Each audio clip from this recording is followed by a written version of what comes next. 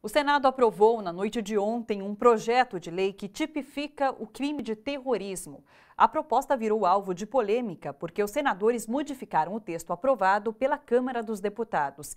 Isso abriu um precedente para os movimentos sociais serem criminalizados. O projeto de lei antiterrorismo iniciou tramitação em 2010 por exigência de entidades como a FIFA, em função da realização da Copa do Mundo no ano passado, ou ainda do Grupo de Ação Financeira contra a Lavagem de Dinheiro e o Financiamento do Terrorismo, o GAF, órgão internacional que exige que o Brasil adote leis e punições para este tipo de crime. O Comitê Olímpico Internacional também cobrou a criação da lei para a realização da Olimpíada do Rio de Janeiro no ano que vem.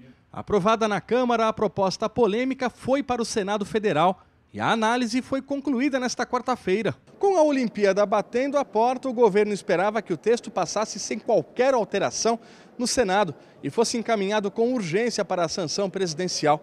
Mas no último momento, o relator da proposta, senador Aloysio Nunes, do PSDB de São Paulo, resolveu mexer num dos pontos mais polêmicos. Ele retirou do texto o item que garantia que atos de manifestações públicas jamais seriam enquadrados como atos de terrorismo. E isso abriu um grave pressuposto que pode levar à criminalização dos movimentos sociais organizados.